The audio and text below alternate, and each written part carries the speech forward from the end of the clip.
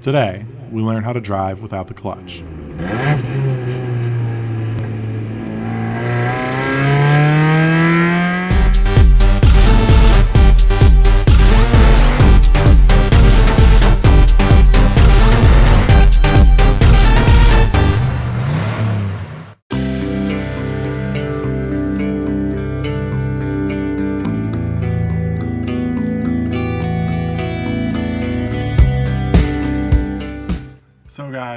First thing you need to do is you need to understand a little bit about how the clutch works.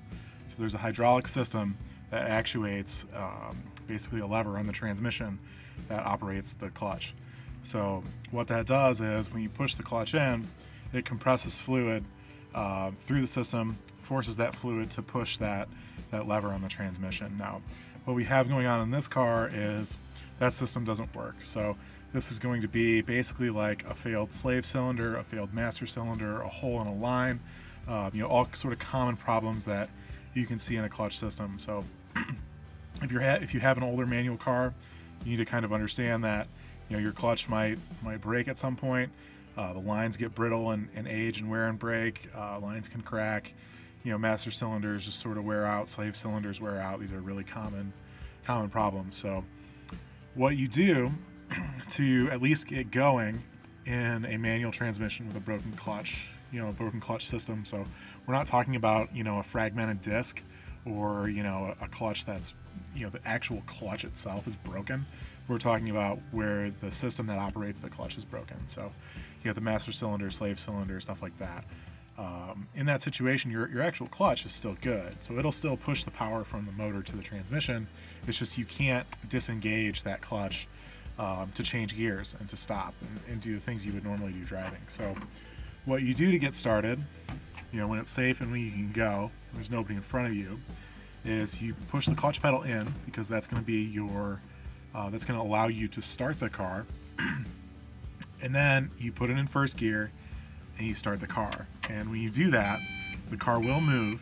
Um, so be prepared for that but it should start like normal. You should start in gear and you should just start rolling. So let's try that out. Maybe.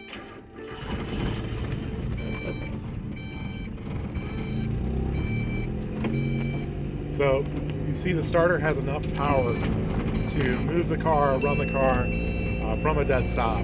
So maybe on a hill or something you might struggle, the wheels turned all the way. You know, try to point it in a straight direction and just go. So the hard part is that anytime you get to a stop sign or you know a road, an intersection, you're going to have to stop the car like that.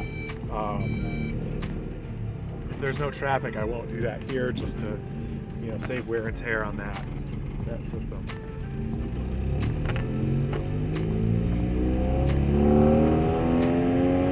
So now the hard part shifting. Now, you'll notice I did that completely without the clutch, and I'll tell you guys how to do that while we're driving. So guys, how you shift, you basically have to, you kind of jiggle the throttle a little bit, give it a little bit more gas and you let off. That'll allow you to pull, the, pull it out of gear, that'll unload the transmission. And then, when you find the next gear, typically just kind of want to let off the throttle, let those RPMs come down, match that RPM speed, and sort of with a you know a slight pressure on that, that shifter, you know, just sort of guide it in as your engine crosses over the the RPMs that you're matching.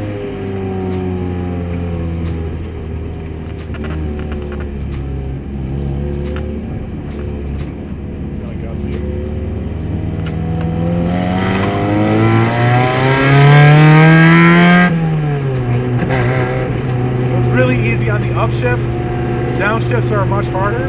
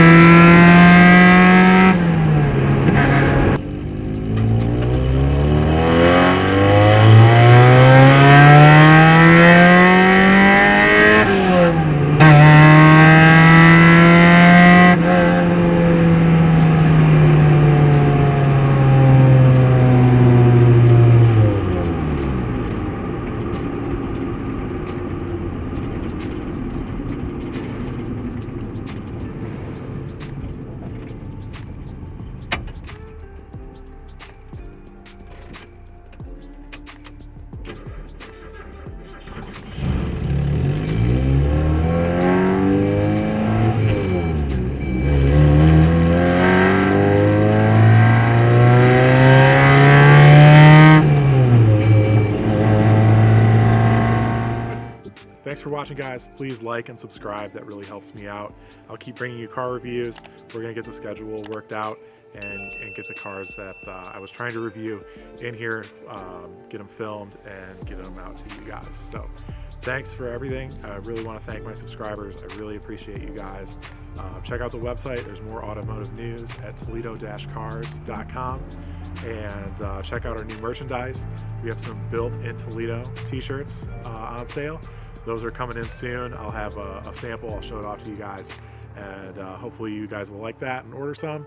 If not, keep watching. That's all we ask. So thanks, guys. We'll, we'll see you soon with another review and uh, more content in the future. Thanks.